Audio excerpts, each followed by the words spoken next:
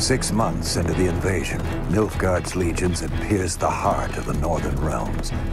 Behind them, blood-soaked fields, war-swept wastes. A lone wolf roamed these broken lands, a beast slayer, a whirlwind of rage and steel. They say he was a man obsessed, chasing memories, faces, scents. Yet amidst the chaos, he could only follow his heart.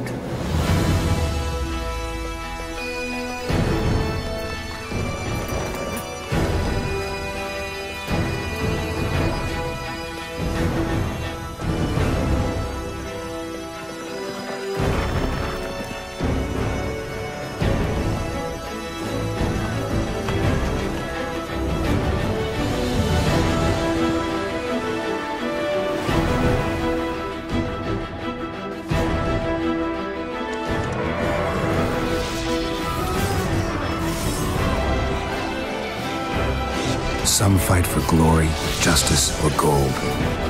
I fight for those I hold dear. I'm Geralt of Rivia, the Witcher.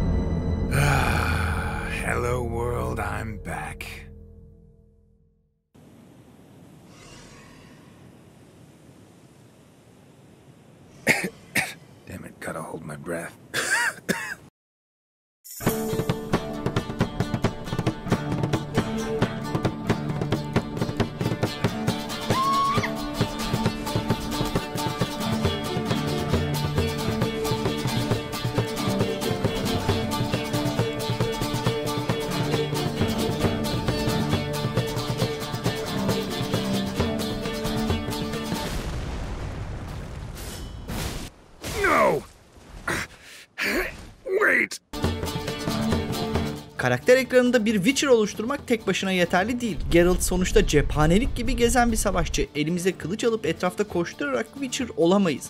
Witcher işaret büyüleri, bombalar, iksirler lazım. Ve işimiz hiç kolay değil. Gotta jump down there. Hope I don't break my legs. Öncelikle Roach'a ihtiyaç var. Bu devasa topraklarda yalın ayak koşturamayız. Bu yüzden önce Church of Elhe hemen ardından Gatefront'a ulaşıyoruz.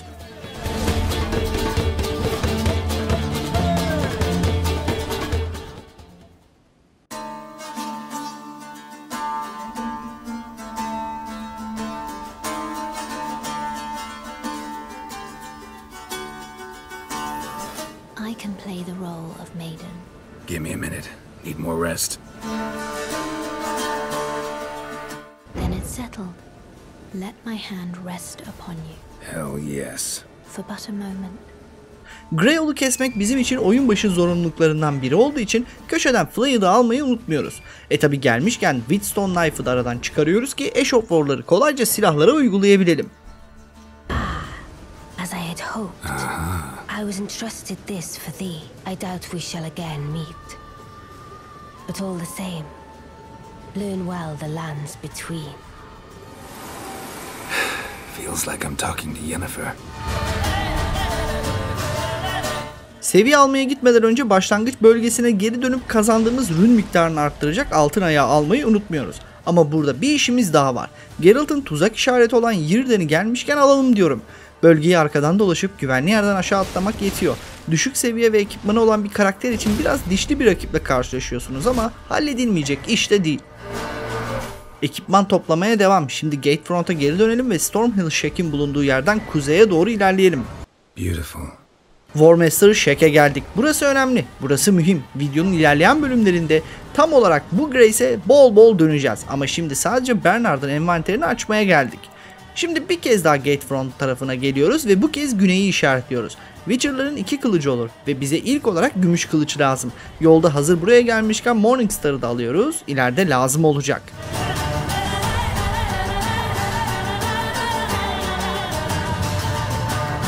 Gümüş kılıcımız Claymore olacak. Yol biraz sıkıntılı ama kısa olduğundan ne kadar ölseniz de sorun değil. Güzel. Hadi bu kılıcı kuşanabilecek seviyeyi artık almaya gidelim.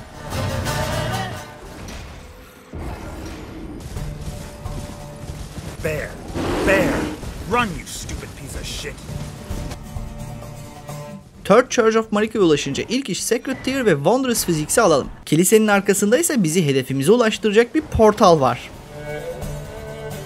I hate portals.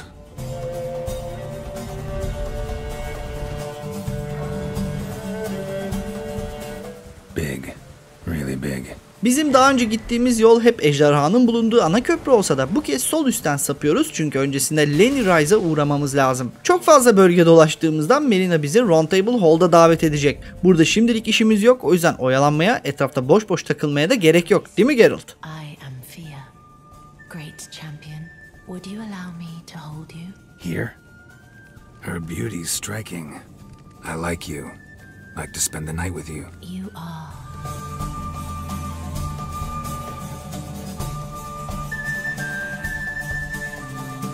Geralt sınırlı da olsa büyü kullanabilen bir karakter ve bizim birkaç numara için büyü slotuna ihtiyacımız var. Bu yüzden Lenny Rise'ın arkasından yukarı sıçrıyor ve Memory Stone'u alıyoruz.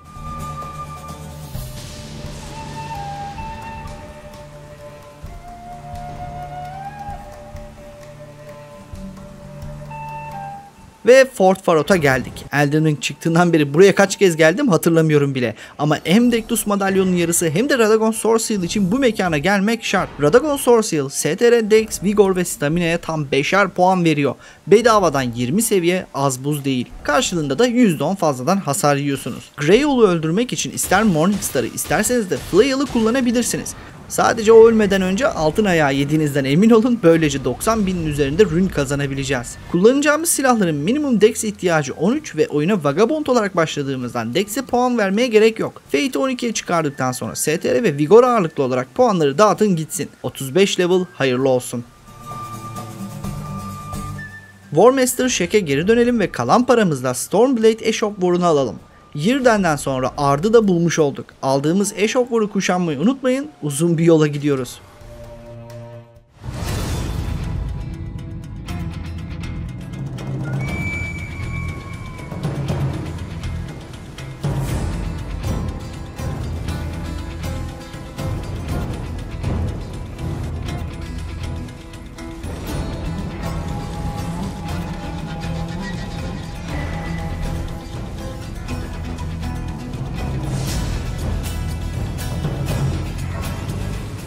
Liurnia'da çok işimiz var. Öncelikle Geralt halen üstüne başına bir şeyler bulamadı. Bunu halletmemiz lazım. O yüzden haritayı aldıktan sonra bölgenin doğusuna ilerleyin. Liurnia'nın kuzeydoğusunda pek çok işimize yarayacak mekan var.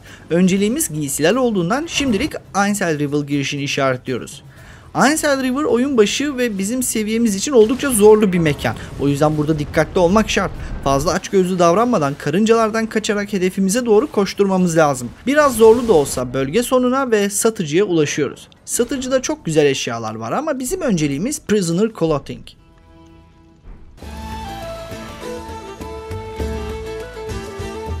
Buradaki işimiz bitti o yüzden Liurnia Lakeshore'a geri dönüyor ve hemen kuzeydeki Laskar harabelerinden akademi kapılarına ışınlanıyoruz. Akademi anahtarı için kısa yoldan aşağı atlıyor ve bir kez daha Murat abiye selam çakıp anahtarı alıyoruz. Anahtarı aldık almasını ama bölgenin görünürlüğünü arttırmak için bize haritada lazım. Kapıya geri dönüp bu kez garnizonu yarıyor ve haritayı almak için harabeleri aşıyoruz. Özel silah kullanmayacağımız için her zamanki taktiği kullanıyoruz. Akademik kristal tünellerinde 1 ve 2 numaralı taşları sınırsız satın alabileceğimiz boss mücadelemiz var. Dead end. Except. Looks like there might be something down there. Hazır gelmişken maliyeti azaltmak için madendeki taşları toplamayı da unutmayın. Boss, strike hasarına karşı çok zayıf ve elimizde Morningstar olduğundan oldukça kolay bir karşılaşma. Ha, bu arada elimizde hazır rün varken Roundtable Hall'da geri dönüp Bell Bearing'i teslim edelim ve 1-2 numaralı taşları 12'ye tamamlayalım. Elimizdeki kılıcı artı 9'a yükseltecek kadar taş olması lazım. Craft something for me, can you? Lay out your arms. Bu işi hallettiğimize göre Weepin Peninsula'ya geri dönelim. Bu kez kiliseleri dolaşarak 3 Secret Tier'da toplayalım. İksirler önemli. Sonuçta biz Witcher'ız. Sonraki hamlemiz ise çelik kılıç. Canavarlar için gümüş kılıç var ama insanlar için çeliğimiz olmazsa el alem bize ne der? Moveset olarak çok hoşuma giden bir kılıç var. Knight's Great Sword. Bunun için daha önce gittiğimiz Ainsel River asansörünün daha da arkalarına ulaşmamız lazım. Gitmeden önce güneyde bir tane daha satıcı var Weepin Peninsula tarafında. Onun yanındaki Grace'i de açın. Sonrasında lazım olacak. Şimdi Liurnia'nın en kuzeydoğusunda yer alan Black Knife Katakomb'un girişine ulaşmamız lazım. Bunun için Eastern Tableland Grace'inden yukarıdaki yol ayrımını işaretliyor ve yola koyuluyoruz. Yolda bol bol düşman var ama hedefimiz net olduğundan çok zarar göreceğinizi sanmıyorum. Kapının hemen önündeki hayalet şövalyeyi gördünüz mü? İşte hedefimiz bu arkadaş. Kılıcı boşuna artı 9'a kasmadık. Yine de seviyemiz düşük olduğu için biraz zorlayabilir. Bu yüzden önce katakombu açıp buradaki Grace'i aktif ediyoruz ve gizlilikle işini bitiriyoruz. %4'lük şansımız var o yüzden kolay gelsin. Bu arada alternatif olarak Banish Knight Sword veya Flamberge de kullanabilirsiniz. Ama Flamberge'ın moveseti Claymore'la çok benzer olduğundan bence Knight's Grey Sword daha karizmatik bir tercih.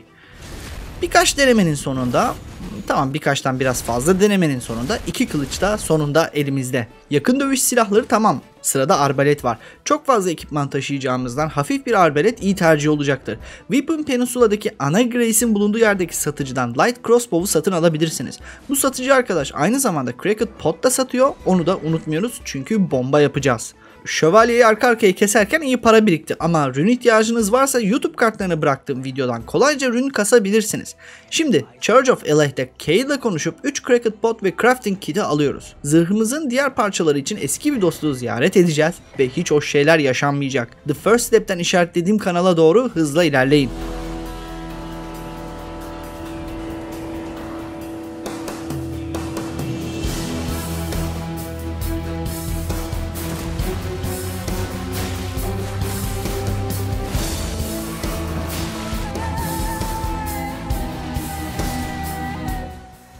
And I'd advise you to go back where you came from. Murkwater Cave küçük bir mağara ve kısa sürede boss'a ulaşıyorsunuz. Boss'a eski bir dostumuz olan Patches. Kendisini rahmetli ediyor ve giysilerine çöküyoruz. Aynı zamanda Bell Bearing'i de düştü bu eşyayı Twin Maiden Husk'a vererek Patches'ın satış envanterine ulaşabilirsiniz. Farklı ekipmanlarla oyun oynamak isterseniz diye tatlı bir War daha alalım. Quickstep. Bu bölgeye defalarca geri döneceğimizi söylemiştim. Bernard'ın kulübesinden kuzeye gidelim çünkü son silah ekipmanı için Tibian Mariner avlayacağız. İlk death root'umuzu aldık. Bize iki tane daha lazım. Buraya gelirken geçtiğimiz köprüdeki Grace'e geri dönüp Death Touch Catacombs'a gidelim. Etraftaki eşyaları toplamak size kalmış ama asıl amacımız boss odasına ulaşmak. Black Knife Assassin çok güçlü bir rakip değil ve artı 9 silahla kolayca haşlarsınız. Ve ikinci Death Root da tamamdır. Kaldı bir tane. Şimdi yine Lurnia'ya daha önce açtığımız Artist Check'e gidelim ve yolu aşağı doğru takip edelim. Bu sefer biraz zorlayabilir ama bence adil bir zorluk. Sonunda Death Root'ları üçledik.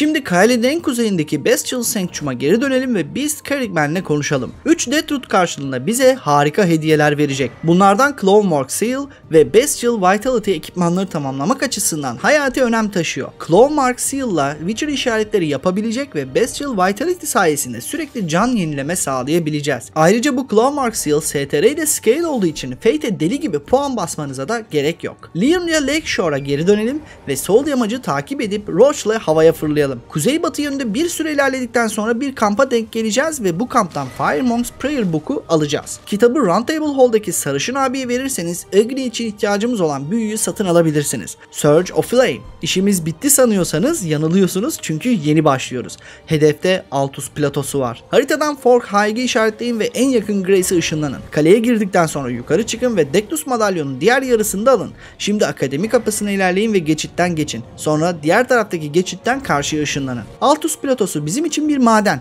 Hem çok önemli kaynaklara hem de yardımcı ekipmanlara burada kavuşacağız. Eğer benim gibi üzerinizde para varsa 1 ve 2 numaralı taşlardan 12'şer tane alın sonra üzülmeyin. Şimdi batı yolunu takip edip buradan ilk parfüm şişemizi alıyor ardından da haritayı açıyoruz.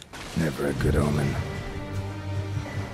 Biraz daha ilerleyip köprü başındaki Grace'i açtıktan sonra da geri dönüyoruz. Şimdi bölgede ilk açtığımız Grace'den sola devam edelim. Burada açtığımız yeni Grace, Altus Bloom bitkileri için yenilenen harika bir kaynak. Şimdilik kaynak toplamadığımızdan yoldan aşağı devam edip bir sonraki kontrol noktasına ulaşıyoruz. Yolu kuzeybatı yönüne takip edip Parfumer Ruins'e ulaşıyoruz. Harabeler çok sıkıntı, seviyemiz düşük ve düşman kalabalık. O yüzden alacağımızı alana kadar milleti peşimizden sürüklüyoruz. İki parfüm şişesi ve sandığın içinden Parfumer's Cookbook 1'i alalım. Bu noktadan sonra Ölseniz de önemli değil. Ne kadar şişe o kadar iksir. Sonraki hedefimiz Shaded Castle. Yol biraz uzun ama o kadar da zorlu değil. Hatta Shaded Castle da zorlu değil. Yani başları.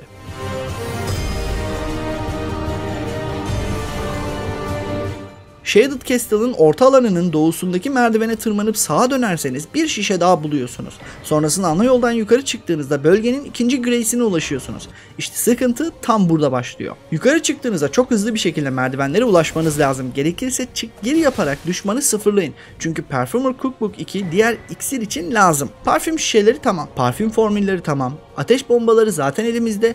Bir de yıldırım bombaları ekleyelim. Altus Plato'ya girişte açtığımız köprüdeki satıcıyı ziyaret edelim ve ondan bomba formülünü alalım. Bombaları üretmek büyük sıkıntı değil ama iksir yapmak zorlu iş ve oyundaki en nadide parçalardan biri olan Arteria Leaf iki önemli iksirin de yapı taşı. Weepin Peninsula'daki satıcıdan 5 tane alabilir ve oyun dünyasında belli miktarda bulabilirsiniz ama daha fazla iksir yapmak istediğinizde eninde sonunda bu yapraklara ihtiyacınız olacak. Bu yaprakları farmlamamız lazım ama onun için de oyunun sonlarına gitmemiz gerekiyor. Ne yani şimdi Witcher build yalan mı oldu? Her şey buraya kadar kadar mıydı?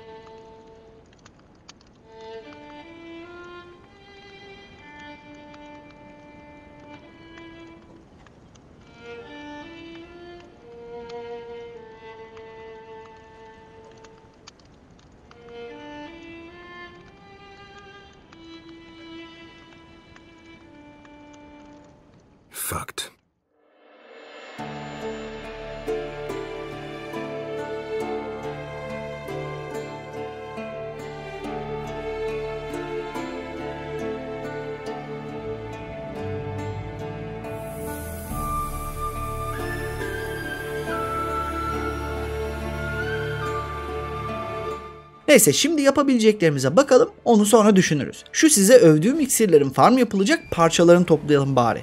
Altus Bloom daha önce açtığımız Ertleri Gazing Hill'in yakından toplanabiliyor.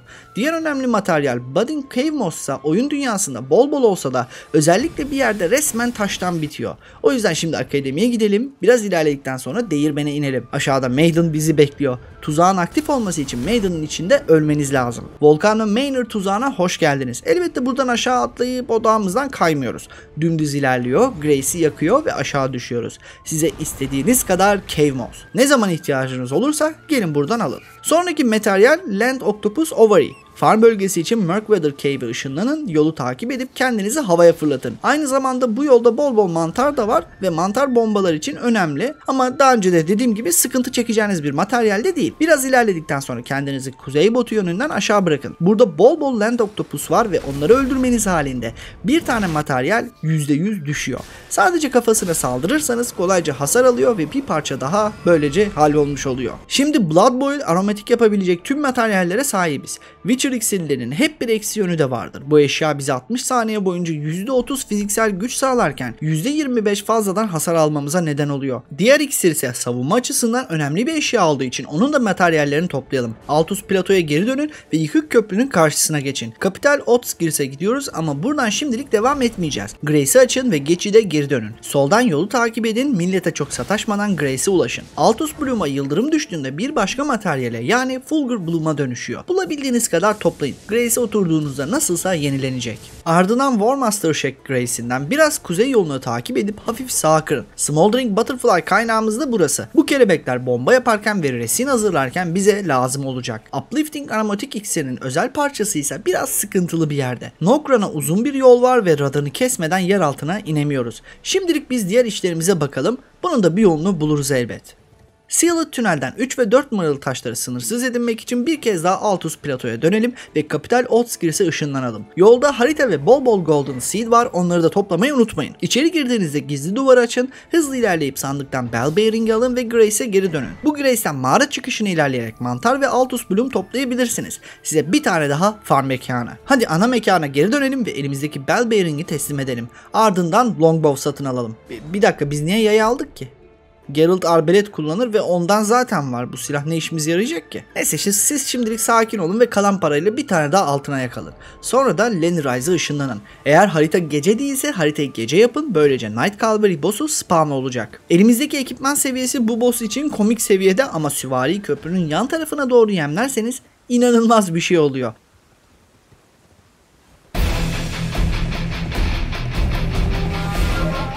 O düşerken altın ayak yemeyi ve aldığınız ürünleri arttırmayı unutmayın. Elimizde 55 bin ürün var. Ayrıca Blood and Step War'unu da ele geçirdik. Şimdi ekipmanlarımızı geliştirebilir ve Nokron için Radan'a gidebiliriz. Öncelikle elinizdeki 1, 2, 3 ve 4 numaralı taşların her birini 12'ye tamamlayın. Sonra da kılıçlarınızı geliştirin. İyi de Geralt yani ne yapacağım bununla? Aa 200 tane de o kaldı. İksirlerini de geliştiriyor. Şu an Geralt'ın ne yapmaya çalıştığını anlayanınız varsa videoyu durdursun ve aşağıya yorum bıraksın. Allah Allah. Kendini Leandel tuzağına düşürdü. İyi de buradan devam edemez ki. Yani burası açılmıyor. Neyse geri döndü. Aa Margit'e gidiyor. Muhtemelen iki ana boss kesip Leandel'e giriyoruz ya onu yapacak.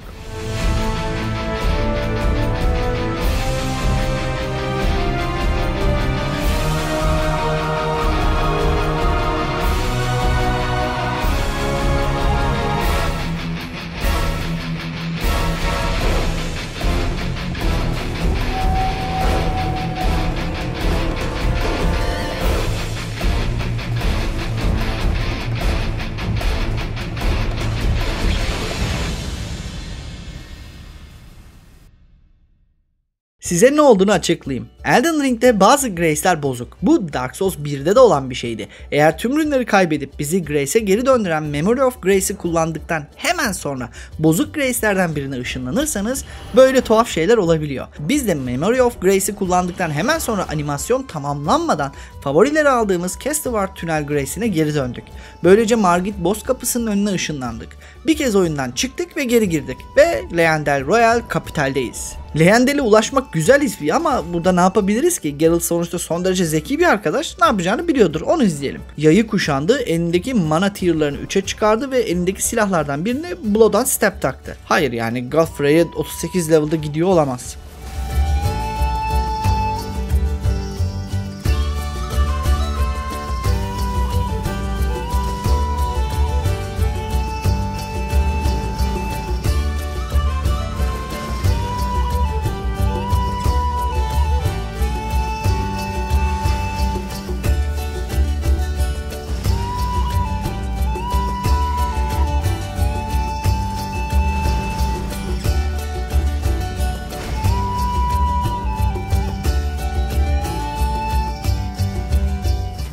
Mighty Shot, Blood on Step ile kolayca Godfrey'i çizleyebilirsiniz. Dövüş uzun sürüyor ama bu kadar düşük seviyedeyken en güvenli yöntem bu. Godfrey mesafe açıldığı anda sakinleşiyor ve siz de ona bol bol ok atabiliyorsunuz. Üzerinize geldiğinde ise bir kere kaçınıp karşıya gitmek yeterli oluyor.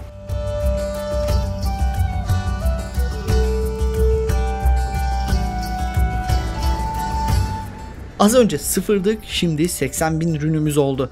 Vigor'a ağırlık vererek seviyemizi arttırabiliriz. Sonraki aşama içinse önce Roundtable Hall'da geri dönüyoruz. Patches'ı öldürdüğümüzde aldığımız Bellbailing sayesinde iki tane daha altın ayak alabiliriz. Ayrıca buradan Margit Shackle'ı da alalım. Şimdi Weeping Peninsula güneyindeki koruyu işaretleyelim. Buradaki Scarab'ı öldürdüğünüzde bize harika bir incantation olan Poison Mist verecek. Şimdi Leyendel'e geri dönün Margit boss odasına ilerleyin. İhtiyacımız olan iki önemli şey var. Margit Shackle ve Poison Mist. Boss kapısına iyice yaklaşın ve 3 kez Margit Shackle kullanın. Morgoth'un yapay zekasını böylece kapattık.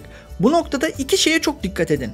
Asla Margit'e direkt hasar veren bir silah veya büyü kullanmayın ve hiçbir şekilde arkasına geçmeyin. Sadece önünde durun, yakınlaşıp nişan alın ve Poison Mist kullanın. Bu incantation ona yaklaşık 1000 hasar verecek. Elinizde bol bol mana potu olsun. Hatta bütün potlarınızı mana yapabilirsiniz çünkü savaşmayacağız.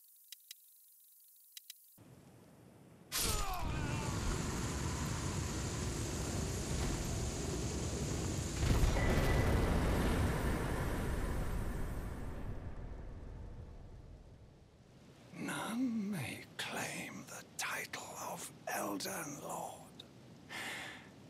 Thy deeds shall be met with failure, just as I. And all this, what did it bring you?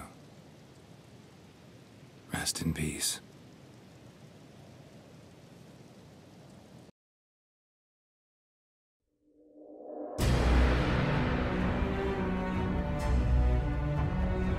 ...120 bin ürünle tüm ekipmanlarımızı kolayca artı 12'ye kasabiliriz. Ama işimiz daha bitmedi.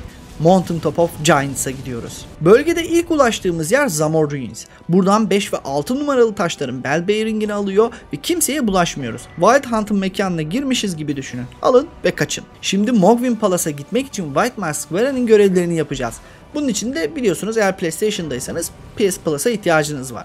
Zaten Morgoth'u öldürdüğümüz için görev diğer aşamasına kolayca geçiyor. O yüzden ilk aşamayı halledip hızlıca Liurnia'daki Rose Kilisesi'ne gidiyoruz. Oho bize 5 tane invade parmağı verdi. Peki Geralt gerçekten bunu yapar mı?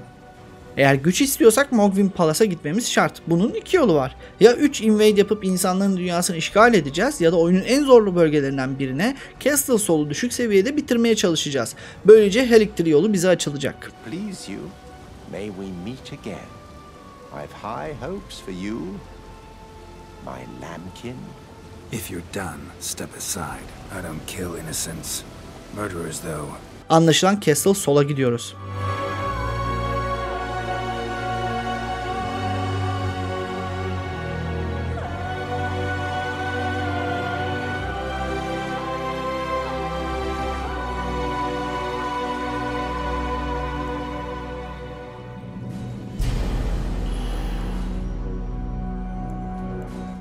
Wrong Warp kullanarak Castle Soul'un hemen önüne ışınlandık. Bu artistliğe gerek yoktu ama yolu kendim için biraz kısalttım. Şimdi güneybatıdaki yamaca çıkın, bu çıkıntıdan aşağı atlayın ve Deathcam aktif olduğunda bir kez daha zıplayın. Öldüğünüzde ise Stake of Marika'da doğmayı seçin. Concentrated Snowfield'a hoş geldiniz. Bölgenin ortasında kalan Inner Concentrated Snowfield Grace'inden batıya gideceğiz. Bu arada dikkat etmeniz gereken önemli şeylerden biri de nehre inmemek. NPC Invader bizi acayip yavaşlatır. Biraz batıya girdikten sonra burada devasa bir ağaç var ve çevresinde bizim için önemli materyallerden biri olan Rimmed Crystal Bud var. İleride bu bitkiden bol bol toplayabilirsiniz. Şimdi yönümüzü biraz kuzeye batıya çeviriyoruz ve sonunda Mogwin Palace'ın portalına ulaştık.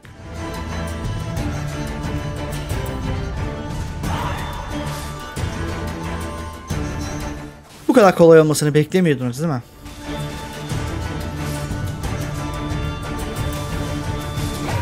Gerçi her şeyin bir kolayı var.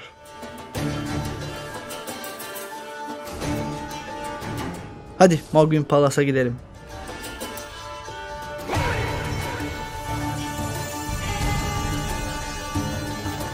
Kuşu avlayarak istediğiniz kadar rün kasabilirsiniz. Üzerinizde rün arttıran bir eşya olmasa da 11K'ya kadar her seferinde kasabilirsiniz. Ama bu işin bir güzel yolu daha var. Roach'u biraz aşağı sürüp hemen yamaca atlayın. Sonra aşağı inip dümdüz ilerleyin. Köşeden uçurum kenarındaki taşa sonra da yamaca doğru bir kere atlayın. Bir saniye sonra bir kez daha atlayın çünkü deathcam aktif olacak. Düşüş başladığında 5 saniyede bir atak yapın veya benim gibi spamleyin. Artık rune ihtiyacınız olduğunda nereye geleceğinizi çok iyi biliyorsunuz. En azından From Software patchleyene kadar. Roundtable Hall'da dönüp silahlarımızı ve ekipmanlarımızın hepsini kolayca artı 18'e çıkarabiliriz. Got a bad feeling about this. Cause of death, stab wound. Blade between the ribs, straight to the heart. It is returned to its rightful place. Our Lord will rise. The Lord of the many and the meek. I can't believe we fucked. Şimdi Stormvale Castle'a minik bir ziyaret yapacağız. Tabi Margit'in alanında kimse yok çünkü Margit aslında Morgoth'un illüzyonu olduğundan ve Morgoth hakkı rahmetine kavuştuğundan direkt kale içine ilerleyebiliyoruz. Burada Ghostlock'un tavsiyesine uyun ve arkadan gidin. Bize Misericord ve Witblade lazım. Etrafta biraz oyalanın, biraz gücünüzün tadını çıkarın ve sis kapısına ulaşın. Bu da tamam. Sırada diğer bir Igni skill'i var. Flame of Redmane için Fort Faroth'a ışınlanın. Dümdüz batıya gidin. Ardından güney yoluna sapıp Fort Gael North Grace'ini açın. Kılıçlardan birine Gravitas yani Yirden'i ekleyin. Görünmez Scarab size yaklaştığı anda tek hamleyle işini bitirin. Misericord'da artı 18'i yükseltin ve Flame of Redmane'i ekleyin. Ayrıca diğer silahlarınızı artık Heavy skalasına çekebilirsiniz. Böylece STR üzerinden silahların hasarlarını arttırabilirsiniz. Hazırlıklarınızı tamamladıktan sonra Mountain Top of Giants'a geri dönün. Spesifik bir Grace'e Giants Grave Post'a ulaşmaya gidiyoruz.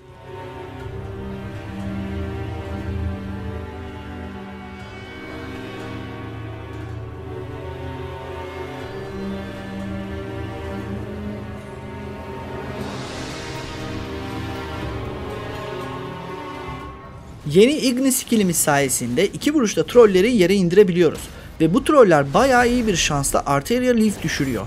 İki önemli iksirimiz için artık sonsuz kaynağa sahibiz. Demek isterdim ama Uplifting Aromatik için Silver Tear Husk lazım. O da Nokran'a inmeden alabileceğimiz bir şey değil. O zaman önce Siofra River'a gidelim ve Marika Source Seal alarak Radan için hazırlanalım. Siofra River Bank'tan sağa doğru gidip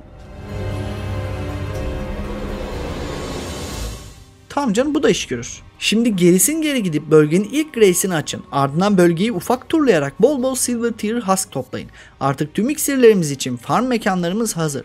Zor olanlar bitti, sırada kolaylar var. Witcher'lar farklı durumlar için kılıçlarını özel yağlarla güçlendirirler. Bize de bu yüzden farklı formüller lazım. İlk parça Agel Gölü'nün kuzeyinde. Bu tarifle kılıcımıza ateş hasarı ekleyebiliriz. Her ürettiğimiz yağ için bize bir adet root resin lazım. Bir kez daha War Mestal şaka dönüyoruz. Bu sefer yandaki ağacın altındaki resimleri topluyoruz. Hatırlarsanız buradan aynı zamanda Smoldering Butterfly'ı da farmlayabiliyorsunuz. Silahı buzla kaplamak içinse daha önce gösterdiğim karlı ağaçların altından bol bol Ring Crystal Bud toplayabilirsiniz. Kanama hasarı içinse Fort High'dan Nomadic Warrior Cookbook 6'yı almanız yeterli. Bu yağı üretmek içinse gereken materyal Blood Rose ve yine kale çevresinde farmlanabiliyor. Kılıçlarımızı zehirle kaplamak içinse Weeping Peninsula'daki Tombsword Cave'den aradığımız her şey bulunuyor. Nomadic Warrior Cookbook 8 ve mağara genelinde yaygın görülen Potion Bloom bitkisi bizim için yeterli. Son parça içinse Church of Pilgrimage'den Minor Erdtree'ye iniyor ve bölge boss'unu kesip Queen işaretinde ediniyoruz aksi işaretini atladığımı düşünüyorsunuz ama aslında atlamadım. Onun için de Bellum Church'tan biraz aşağı inip hemen satıcıya gidiyorsunuz. Artık düşmanı da kontrol edebilirsiniz. Canavarlar için gümüş, insanlar için çelik. Quen, Art, Igni, Yirden, Aksi. İksirler, yağlar, Geralt of Rivia artık yeni bir evreni yani Lens Between'i fethedebilir. İzlediğiniz için teşekkürler.